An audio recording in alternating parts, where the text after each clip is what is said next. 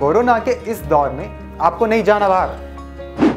Big bliss पहुंचाएगा सारा सामान आपके घर 10 मिनट के अंदर। तुरंत डाउनलोड करें बिग ब्लिस ऐप। खुशियों की अपनी दुकान।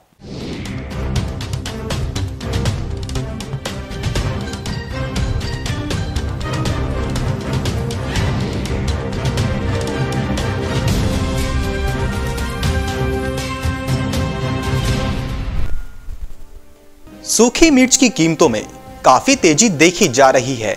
बढ़े हुए दाम का लाभ किसानों को मिल रहा है। इस बार कीटों के हमले से सूखी मिर्च की फ़सल काफ़ी प्रभावित हुई थी, जिससे उत्पादन कम हुआ है। सीमित मात्रा में बाज़ार में आवक के कारण इन दिनों फ़सलों की कीमत बढ़ चुकी है। हालाँकि इसका लाभ किसानों को भी मिल रहा है, जिनकी पैदावार प्रभावित हुई है। कम उत्पादन के कारण ही व्यापारी ऊँची दरों पर खरीदकर इसे स्टॉक भी कर रहे हैं। व्यापारियों को स्थानीय और विदेशी बाजारों में मांग में बढ़ोतरी की उम्मीद है। इसी वजह से मंडी में आ रही पैदावार को किसी भी भाव पर खरीद ले रहे हैं। उन्हें आगे इससे मुनाफा कमाने की संभावना है। कृषि विशेषज्ञों का कहना है कि सूखी मिर्च की चर्चित किस्मों की कीमत 10 से बारह हज़ार रुपए प्रति क्विंटल हुआ करती थी। लेकिन अब इसका दाम बढ़कर लगभग बीस हज़ार से भी ऊपर पहुँच चुका है। आंध्र प्रदेश और तेलंगाना जैसे राज्यों में सूखी मिर्च की सबसे अधिक खेती होती है।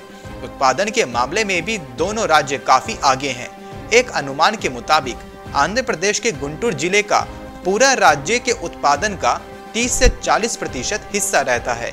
लेकिन इस बार थ्रिप्स कीट के हमले के कारण उत्पादन बुरी तरह प्रभावित हुआ है। एक कृषि अधिकारी ने बताया कि बढ़ी हुई कीमतों से किसान पैदावार में गिरावट की भरपाई कर सकेंगे या नहीं, यह तो कुछ दिन बाद ही पता चल पाएगा। लेकिन दाम बढ़ने से उन्हें कुछ राहत ज़रूर मिलती दिखाई दी है। उनका कहना है कि अब घरेलू मांग भी बढ़ रही है और उत्पादन में कमी आई है। इसी वजह से दाम में तेज़ी देखने को मिल रही है। उनका कहना है कि थ्रिप्स कीट के हमले के बाद किसी भी राज्य ने सूखी मिर्च के अनुमानित उत्पादन का आंकड़ा नहीं दिया है। ऐसे में व्यापारी अंदाज़ा नहीं लगा पा रहे हैं कि कितनी पैदावार बाज़ार में आएगी। ऊँचे दाम पर खरीद का यह भी एक कारण है।